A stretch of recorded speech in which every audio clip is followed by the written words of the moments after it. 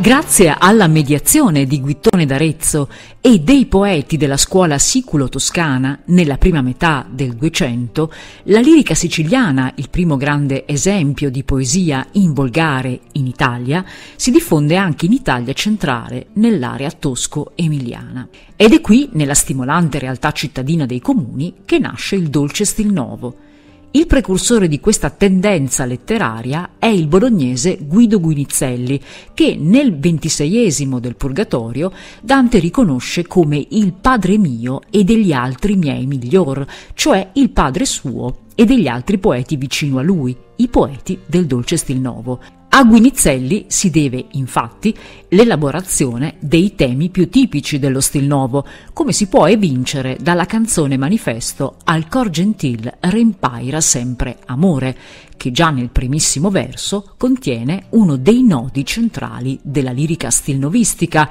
ovvero l'identificazione tra amore e gentilezza.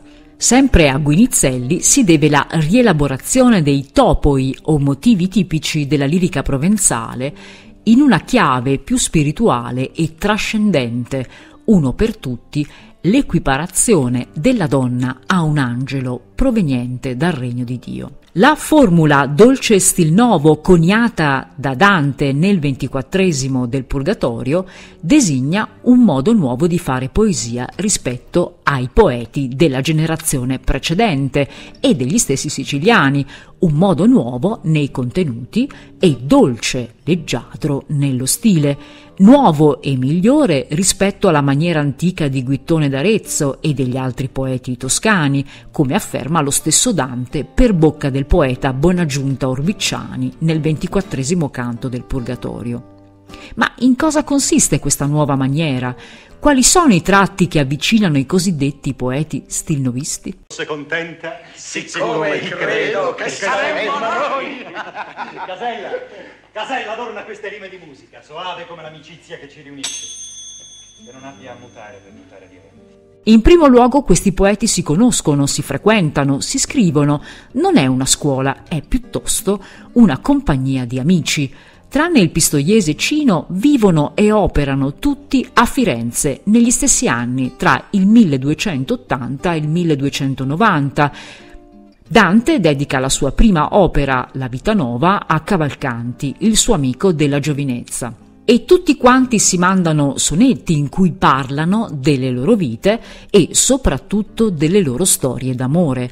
In secondo luogo, ad accomunare questo gruppo di poeti è la ricerca di uno stile dolce, cioè raffinato, musicale, ma al contempo piano e facilmente comprensibile, lontano dalle asprezze e dall'oscurità dei poeti della generazione precedente.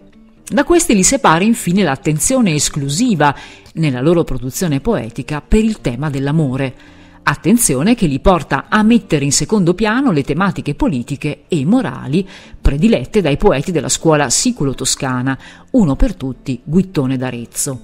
La poesia era servita fin qui per parlare di religione, di politica, di morale e anche d'amore.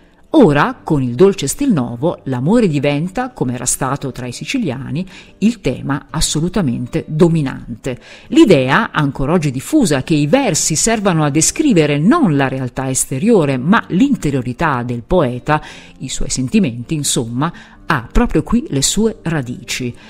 Come trattano il tema dell'amore gli stilnovisti? In modo sensibilmente diverso rispetto al passato. Per un poeta moralista come Guittone l'amore terreno è un male, per gli stilnovisti, al contrario, l'esperienza dell'amore per una donna rende nobile l'uomo, lo migliora. Come insegna Guinizelli, la passione amorosa è indissolubilmente legata alla nobiltà, alla gentilezza dello spirito dell'amante. Essere innamorati diventa un segno di eccellenza morale.